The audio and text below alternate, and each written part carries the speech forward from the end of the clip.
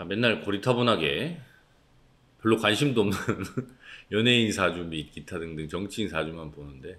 그리고 뭐 그 외에 또 다른 거 하면 어려운 명략 개념만 맨날 얘기하고. 이거 뭐 일상생활에 도움도 안 되는 거 자꾸 이제 얘기하니까 사람들이 좀 도움이 될 만한 거 얘기를 좀 해보라고 하셔서. 특히 이제 주변에 뭐 일상적으로 술 드시는 분들 많으니까 그때 잠깐 쇼츠로 술 종류에 따른 뭐 병리학과의 상관관계 이런 걸 한번 얘기한 적은 있었는데 그걸 좀 더 세분화해서 한번 설명을 드리면 어떨까 싶어서 오늘 이 영상을 찍게 됐습니다. 그 기본적으로 우리나라 사람들은 소주를 좋아하죠. 왜 소주를 좋아하냐면 우리나라에서 제일 많이 났던 곡물이 기본적으로 쌀이기 때문에 그렇습니다. 예. 쌀로 담그어서 그걸 증류해 가지고 만드는 일종의 이제 독한 술. 그러니까 증류하면 항상 그 알코올 먹을 수 있는 알코올의 에기스가 나오니까 그게 이제 소주고요. 그다음에 중국은 수수가 많이 나서 수수를 가지고 그렇게 증류주를 만들면 우리가 흔히 말하는 백주, 와이주가 되고요. 그다음에 러시아에는 귀리가 많이 납니다. 그래서 귀리로 많이 담그면 그게 이제 보드카가 되고 그리고 이제 멕시코에서는 아가베 선인장이라고 선인장 말하니까 그걸 담으면 데킬라가 되고 그리고 사탕수수 그러니까 저기 좀 따뜻한 지역 많잖아요. 예를 들어서 쿠바나 이런 데는 사탕수수가 많으니까 그걸로 담그면 럼이 됩니다. 그래서 기본적인 그 곡물을 이렇게 액기스화 시켜가지고 그 탄수화물 액기스화 시켜가지고 뭐 이렇게 변환하는 작업이에요. 어, 술이라는 것 자체가. 그러면 이제 그 각각 곡물의 특성들이 액기스화돼서 나오게 되고 그래서 향이나 맛이나 풍미가 달라지는 겁니다. 그래서 우리나라 사람들이 소주를 좋아하는 이유는 하나예요. 어, 우리나라에서 쌀이 많이 나기 때문에. 근데 이제 지금은 그걸 대용품으로 먹고 있는 겁니다. 제가 항상 주변에 많이 말씀드리는 우리나라 사람들이 불쌍한 이유 첫 번째가 그 물 타서 먹는 희석식 소주로 먹으니까 얼마나 안타까운지 모르겠어요. 왜? 지금도 저기 지방에 있는 뭐 이렇게 차를 운전하시면서 이렇게 국도나 지방도 가보시면 아시겠지만 농협 창고들이 아주 큼직큼직하게 여러분들의 세금을 깔아 먹으면서 있습니다. 왜? 창고 보관 비용 때문에. 그럼 거기에 뭐가 들어있느냐? 우리가 추곡수매라고 항상 쌀을 자급자족할 수 있는 수준을 유지하기 위해서 정부가 쌀을 사줘요. 그걸 우리가 보통 정부미라고 많이 얘기하는데 웃긴 건 여러분들 아무도 정부미 안 드세요. 그죠? 주변에 정부미 드시는 분은 군인 또는 교도소 등등등 어쩔 수 없이 먹어야 되는데 빼고는 정부미 안 먹습니다. 왜냐하면 품종 개량을 했음에도 불구하고 그게 잘 자랄 수 있게 품종 개량한 거지 맛있게 품종 개량한 게 아니에요. 그러다 보니까 그걸 추곡수매해서 팔리진 않으니까 쌓아놓고 있죠. 어. 뭐 예를 들어서 저도 저희 아버지 계신 이천에 그 쌀 먹지만 그거는 뭐 세종대왕 쌀이라 그래서 별도로 키우는 건데 걔는 키우기 어려워요. 예. 뭐 예를 들어서 농약도 안 칠 수가 없, 없다고 하는데 뭐 어쨌건 좀 덜 치고 이러려면 그게 이제 잘 자라기가 어려운 여러 가지 이제 조건들이 붙어서 그런데 그럼 그 농협 창고에 정부미가 썩어가고 있는데 왜 걔를 술을 안 만드냐? 자 술을 만들어 먹는 걸 옛날에 이제 조선시대 때나 이런 데는 금주법으로 막 못하게 했어요. 왜 그러냐면 먹고 살 쌀도 없어 죽겠는데 그 술을 만들면 쌀이 어마무시하게 농축돼서 들어가는 겁니다. 그럼 뭐 한가마니 때려도 한두 병 나올 거 말까요? 어. 그 막걸리도 나오고 뭐 중간에 뭐 정종같이 이렇게 청주도 나오고 소주도 나오고 다 나오긴 하지만 그게 쌀 먹는 거 배부른 거 대신 그 양이 안 돼요. 그래서 조선시대 때도 임금님이 이제 그런 거 금주법 이런 걸 해서 먹고 먹고 죽을 쌀도 없는데 지금 무슨 술을 만들어 먹냐 이렇게 한 게 있는데 아직도 우리나라는 그 주세법에 얽매여 있어서 그렇게 다양한 소주들이 전통주 이외에는 만들기가 어렵도록 법이 되어 있습니다. 그러다 보니까 자꾸 그 희석식 소주, 예. 타피오카라고 하는 그 사탕수수 찌꺼기 가지고 발효해서 만든 주정을 통해서 거기에 향, 향을 태워서 물하고 섞어서 주는 그 희석식 소주를 많이 드시고 계신데 전 그게 좀 안타까워요. 뭐 그건 차치하고 특히 이제 제 유튜브의 주 구독자층은 요새 이제 조금 남자분이 좀 늘긴 했는데 주로 이제 40, 50대, 60대 사이의 여성분들이 많다 보니까 그분들이 많이 드시는 술이 어떤 걸까 이렇게 생각해 보니까 와인이더라고 와인. 근데 이제 와인은 대표적으로 종류가 세 종류가 있죠. 어. 그냥 우리가 보통 알기로는 뭐 화이트 와인, 레드 와인 이렇게 하는데 하나 더 다른 종류가 이제 약간 sparkling성이 나는 샴페인이라든가 또는 이제 독일에서 많이 만드는 아이스 와인이라고 해서 거기는 Eiswein 뭐 이렇게 쓰는데 되게 단 와인이 있어요. 귀부 와인이라고 하는 뭐 그런 종류가 여러 개가 있는데 일단 명리학적으로 놓고 봤을 때 와인은 자 기본적인 재료가 포도입니다. 포도. 어, 포도는 우리가 아는 그런 탄수화물적인 그런 술이 아니에요. 어. 떤 쪽에 가깝냐면 과실주입니다. 과일주. 어. 우리가 이제 소주 그 담금주 담그는 데다가 막 과일 같은 거 넣었잖아요. 매실주도 만들어 먹고 뭐 등등등. 그것처럼 포도주는 기본적으로 과일을 통해서 만들어진 술이다 보니까 그 우리가 소주나 이런 뭐 아까 얘기한 보드카나 이런 것처럼 정제를 많이 하지 않아요. 그래서 와인 많이 드시면 머리 아픈 이유는 불순물이 많이 섞여 있어서 그런 거예요. 순수성이 떨어지기 때문에. 그 대신에 이제 장점은 다양한 맛이 납니다. 예를 들어서 소주는 안동 소주든 뭐 다른 소주든 뭐 여러 가지 소주가 기본적인 풍미는 다 쌀 베이스이기 때문에 그건 똑같고요. 그 지역적인 특색 또는 그걸 다 뭐 이렇게 증류하는 방식에 따라서 조금 조금 다를 뿐인데 와인은 뭐 저는 이제 시내 물방울 좋아해서 저희 집에 전집으로 다 있고 다 여러 번 읽어봤는데 뭐 지역 토양에 따라서 다르고 나라에 따라 다르고 뭐 만드는 사람에 따라 다르고 숙성시키는 게 따라 다르고 뭐 포도 품종에 따라 다르고 어마무시하게 막 종류가 많아요. 그래서 그렇다고 제가 뭐 와인 소믈리에는 아니니까 와인 드시는 분들도 뭐 다양한 와인을 많이 드시기는 힘들잖아요. 그러면 두 가지 정도를 나하고 맞는 와인을 고르면 돼요. 첫 번째는 제일 대표적인 게 화이트 와인, 레드 와인 두 개예요. 근데 이제 명리학에서 음양 오행 또는 뭐 그걸 구분할 때 우리가 물상론이라고 많이 표현하지만 색깔로도 구분할 수 있습니다. 그러면 화이트 와인은 흰색이잖아요. 그럼 금에 가까운 쪽이고 레드 와인은 빨간색이잖아요. 그럼 화에 가까운 그런 쪽이에요. 그러면 금수가 한쪽, 목화가 한쪽. 그다음 토는 다 먹어도 됩니다. 그래서 토가 살이 찌는 이유는 이것저것 다 먹어도 잘 맞기 때문에 그런 거고. 자, 그럼 내가 예를 들어서 저 같은 경우는 화잖아요. 화인 사람은 저는 이제 그럼 뭐가 필요한지 봐야 돼요. 내가 화더라도 내 우리가 보통 용신이라고 많이 하는데 나한테 필요한 기운이 금수의 기운이 필요한 건지 아니면 목화의 기운이 필요한 건지 놓고 보면 저 같은 경우는 금수의 기운이 필요한 사람이에요. 그러면 저 같은 사람은 화이트 와인이나 샴페인 이런 쪽이 맞겠죠. 근데 그게 아니라 나는 너무 차가워. 어, 난 따뜻한 기운이 필요해. 어, 손발도 차가워. 이러면 레드 와인을 드시는 게 훨씬 더 좋겠죠. 네, 그렇게 맞추면 되는 거고. 또 하나는 옛날에 이제 로마 시대 같은 경우에 포도주를 많이 마셨어요. 아, 그때는 이제 지금처럼 기술이 그렇게 좋지는 않아서 그 발효하는 방식이나 뭐 이런 게 좀 다르긴 했습니다만 그러다 보니까 너무 진했어요. 그러니까 도수도 높고 과일이 그냥 거의 뭐 그냥 약간 체에 걸러서 먹는 식으로 막 이렇게 먹다 보니까 진하다 보니까 로마 시대 때는 물을 많이 타서 먹었습니다. 포도주에 물을 많이 타서 먹었는데 기본적으로 물이라는 거의 성분은 아까도 얘기했지만 금수가 한쪽이잖아요. 그러면 자 샴페인이나 화이트 와인은 얼음을 태워서 먹어요. 그죠? 왜? 금수니까 같은 얼음이 들어가도 얘는 생각보다 맛이 변, 변하거나 뭐 이상하지 않아요. 근데 레드 와인에 얼음 타 먹는 건 없어요, 잘. 아무리 더워도. 그죠? 그게 왜 그러냐면 그게 잘 안 맞거든, 조합은. 안 맞아서 시원하게 드시는 건 화이트 와인 쪽이, 그 다음에 샴페인 쪽이 맞고, 그 다음에 그게 아닌 종류는 다 레드 와인 쪽이 맞고. 뭐 요새 로제 와인도 있고 뭐 여러 가지 종류가 많으니까.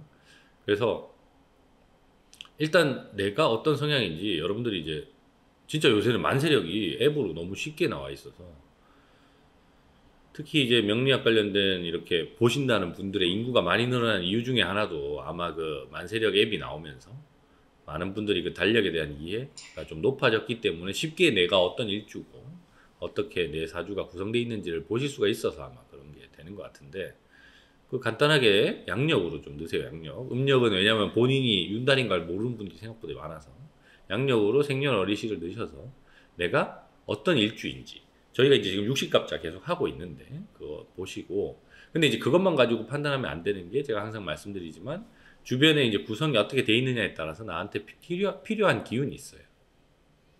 뭐 그냥 간단하게 얘기하면 내가 너무 목화 쪽이 많다 그러면 금수가 균형을 맞춰주는 게 명약의 기본 이론의 핵심은 중화입니다. 중화 중용이기 때문에 균형을 맞추는 거예요. 한의학에서도 마찬가지고 다 뭐 지리도 마찬가지고 그러면 이제 내가 목화 쪽에 가깝다 많다 그러면 화이트 와인이 맞는 거고 어 내가 너무 차갑다 금수 쪽이 많다 그러면 레드 와인이 맞는 거 그래서 그거를 좀 보시고 균형 맞춰서 드시면 좋겠는데 아까도 말씀드렸다시피 과일로 담근 술들은 뭐 당연히 지금 여기도 보면 되게 맑아 보이기는 합니다만 그 우리가 곡물로 담그는 술보다는 확실히 기본 불순물이 많이 들어가 있어요. 그건 어쩔 수가 없습니다. 과일의 특징이기 때문에.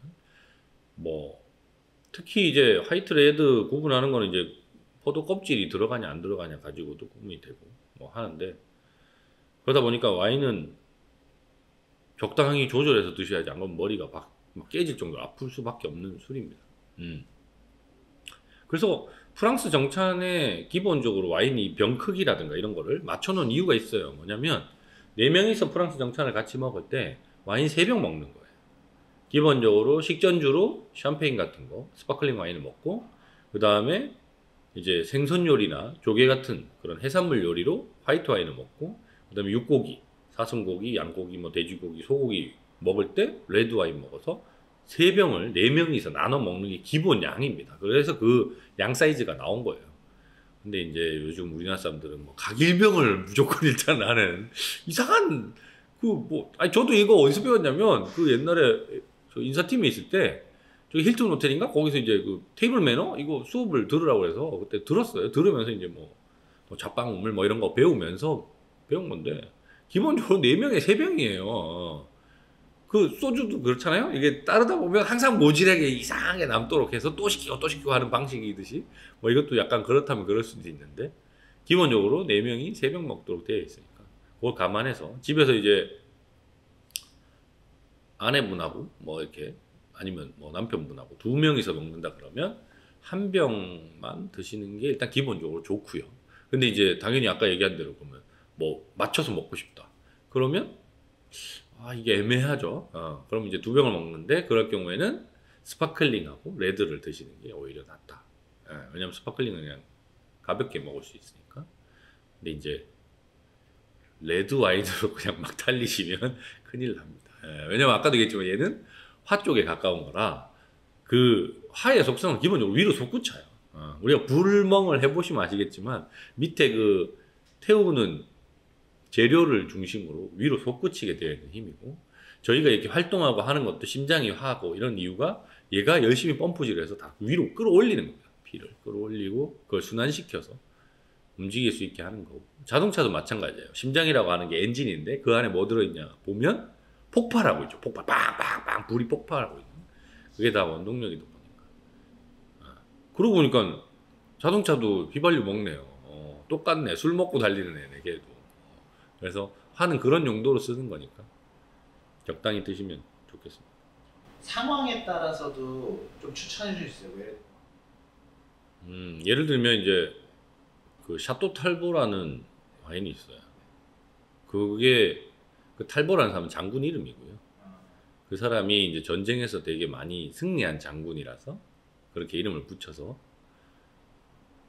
뭐 그런 와인인데 그게 이제 어떤 합격 또는 승진 이런 거 했을 때 축하주로 많이 쓰여요. 근데 이제 그 와인의 진짜 성분 때문에 또는 그게 뭔가 이제 그 뭐 재료라든가 뭐 그런 것 때문에 그게 아니라 그 의미가 있는 거예요. 그러니까 의미라는 건 사람이 부여하기 나름이기 때문에 뭐 모든 예를 들어서 뭐 밥부터 시작해서 반찬이나 이런 거를 다 음양 모양에 맞춰서 먹을 수는 없습니다. 예, 그건 어려운 일이고 근데 이제 내가 좋아하는 음식이 나한테 맞는 거는 맞아요. 근데 이제 습관이 잘못돼서 그게 왜곡돼 있는데 모르는 경우에는 잘못 먹겠죠? 근데 그게 아니라 기본적으로 내가 먹어보면 아 이거 맛있다 계속 먹고 싶다 하는 게 나한테 맞는 음식인 거예요 그래서 와인도 똑같습니다 여러 종류를 맛을 보시되 거기에 아 이건 나하고 잘 맞는 와인 같네 좋네 맛있다 이러면 그걸 정해놓고 뭐 축하할 때든 아니면 여러 가지 뭐 의미 있는 거는 의미는 자기가 부여하면 되니까 그렇게 해서 드시는 게 맞는 것 같고 근데 이제 그 계절이나 또는 뭐 시간대 또는 본인의 컨디션에 따라서 소주를 먹을 건지 뭐 예를 들어서 중국 백주를 먹을 건지 와인을 먹을 건지 맥주를 먹을 건지 이런 거는 좀 다르게 할 수는 있습니다. 예를 들어 여름에 갈증이 많이 난다. 그러면 맥주 먹어야 돼요. 맥주는 보리로 담그는 거고 보리가 기본적으로 수의 성분을 가지고 있는 곡물이다 보니까 맥주 시원하게 한잔하면 그게 갈증 해소에 제일 좋습니다. 근데 이제 뭐 하이볼 먹으면 되지 않나요 라고 하지만 하이볼에 넣는 게 위스키나 기타 그 하긴 뭐 위스키도 보리 로 하나 뭐 하여튼 그런 거는 괜찮은데 그게 아니라 요새는 그 뭐야 백주로도 그러니까 중국 백주로도 하이볼 만들어 먹더라고요. 근데 이제 백주는 기본적으로 수수의 빨간색도 그렇고 그것도 화해 속성이라서 그래서 중국 사람들이 좋아하는 거예요. 중국은 토의 나라다 보니까 화생토해서 좋아하다 보니까 중국 사람들이 그런 거 좋아하는 거고 우리나라 이제 목의 나라다 보니까 쌀이라고 하는 거는 이제 약간 목 쪽에 가까운 거라 또그 같은 부류라서 그런 걸 좋아하는 것 같기도 하고 뭐 하여튼 그러다 보니까 이제 그런 거를 좀 구분해서 드시는 거는 좀 필요해 보입니다. 그리고 그러니까 우리나라는 그렇게 유명하게 전 세계적으로 유명한 와인이 없잖아요. 있네. 그게 왜 그러냐면 우리나라는 포도가 자라기가 쉽지 않은 기후죠. 왜냐면 기후가 지중해성 기후하고 우리나라는 반도인데 이제 너무 바다로 다 둘러싸여 있고 산이 많고 하다 보니까 기본적으로 포도가 자라기가 쉽지가 않아요. 예. 영동 포도나 이런 게 있긴 있죠. 아 있긴 있는데 그것도 제가 볼 때 원래는 거기 인삼밭이었는데 이제 인삼이 잘 너무 안 되고 하니까 포도로 바꾸는 그런 경향이 좀 있는 걸로 알고 있고 우리나라는 옛날에 포도를 언제부터 먹었지? 뭐 포도주에 대한 기록은 조선 초에도 있기는 합니다. 예. 근데 정말 말 그대로 과실주 담그듯이 하는 거라 우리가 지금 먹고 있는 이런 와인하고는 완전히 다른 그러니까 매실주 담그고 뭐 뭐 그러니까 포도도 똑같은 거예요. 감도 넣고 뭐 배도 넣고 사도 지금 다 술인 거예요, 그냥. 근데 이제 그거 만드는 방식이 이제 완전 과일 베이스고 이러다 보니까 달아요, 일단 기본적으로. 어. 그리고 우리가 이제 그 소주도 뭐 많이 먹은 사람들은 달다고 그러잖아요. 어, 그런 것처럼 그거는 이제 곡물에서의 그 순수한 당으로서의 단맛하고 과일에서의 과당의 단맛하고는 완전히 다르거든요. 예를 들어 저희 애들 카프리선 좋아하는데 카프리선 뭐 과일즙이라고 하잖아요. 그거 달아요. 그게 설탕 넣은 거 아닌데도 그렇거든요. 그러니까 이제 과일주는 기본적으로 좀 달아서 그래서 우리나라는 많이 안 먹다 보니까 재배를 많이 하지 않은 게 아닐까? 뭐 그런 생각이 듭니다. 근데 이제 유럽에 어쨌거나 뭐 저도 신의 몰방울이나 그런 책들 몇 개 찾아보면 거기는 이제 땅 자체 또는 뭐 기후나 이런 게 올리브나 포도가 잘 자라는 그런 성향이 있는 지역들이 많다 보니까 그걸 이제 여러 가지 활용하게 되는 거죠. 그러니까 지금은 워낙 이제 농업 기술도 발달했고 여러 가지 정보나 또는 그런 품종 개량 이런 것들이 많이 돼서 뭐 예를 들어서 일본에서도 위스키가 나오고 뭐 와인도 좋은 게 나오고 우리나라에서도 나오고 하지만 과거 불과 100년 전만 해도 그 지역에서 자라는 뭔가 말고는 먹기가 어려웠어요. 가공식품이라고 하는 통조림이나 뭐 그 외에 뭐 거의 옛날에는 이제 염장 짜게 만들어서 보관하거나 아니면 훈연 그을려서 하거나 그 얼음도 많지 않을 때니까 그러니까 그런 거를 다양하게 맛보는 게 지금은 되게 좋아진 겁니다. 좋아진 거라서 지역적인 특성이나 그 작물들의 특성을 놓고 보면 그게 나오기가 어렵죠. 특히 이제 일본 같은 경우는 되게 웃긴 게 고구마 소주가 있어요. 소주인데 고구마로 만드는 그것도 어차피 각각의 그 탄수화물 덩어리니까. 근데 우리나라도 고구마 많이 먹지만 고구마 소주 안 만들어요. 어. 왜냐면 우리나라 고구마 되게 늦게 들어왔거든. 조선 말기 때 거의 들어온 거라. 그러다 보니까 그런 게 발전되기가 어려운 거죠. 특히 이제 되게 웃긴 건 우리가 이제 술이라는 게 이제 뭐 그리스나 이런 역사를 놓고 보면 바커스라고 하는 그 주신이 뭐 준 혜택이다 이러는데 이걸 누가 의도하고 만든 게 아니에요. 그러니까 옛날에 뭐 신석기, 구석기 때 과일 같은 거 따가지고 보관을 이렇게 했을 거 아닙니까? 토기 같은데 구운 거에. 근데 좀 시간이 지났는데 얘가 이제 약간 쉰 거죠. 어, 쉬어요. 과일 같은 거 이렇게 담으면 물 나오면서 쉬어요. 근데 얘가 우연히 그 뭐 보관해 놓은 장소가 좀 서늘하거나 아니면 거기가 이제 그런 효모들이 자랄 조건이 됐으면 얘가 이제 뽀글뽀글뽀글해서 주정화 되는 거죠. 어 그래서 먹어보니까 알알하니 맛있어. 그게 이제 시작이 돼서 한번 해볼까 해서 하는 거 하기 시작한 거라서 그 이후에 되게 긴 역사로 발전을 해온 건 맞습니다. 근데 아직도 제가 볼 때는 기본적으로 우리가 그냥 먹는 곡물 중에 안 담그는 것들도 많고 그게 어떤 식으로 발전되느냐에 따라서도 다르고 제가 알기로는 와인도 수많은 포, 포도 품종의 개량 또는 어떤 방식으로 담그는 것이냐 뭐 뭐 단, 단적인 예로 그 오랜 숙성을 버틸 수 있는 와인이 있고 아닌 와인이 있고 뭐 이런 것처럼 그것도 품종에 따른 차이고 뭐 그런 여러 가지가 있어서 딱히 특정해서 뭐 어떤 때 뭐 먹어라는 좀 안 맞는 것 같습니다.